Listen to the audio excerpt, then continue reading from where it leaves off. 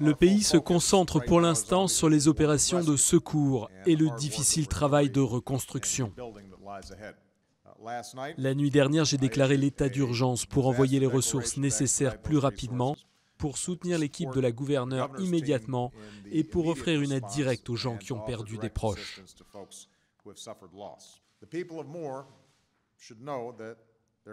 Les gens de Moore doivent savoir que leur pays restera sur le terrain, à leur côté, aussi longtemps que nécessaire.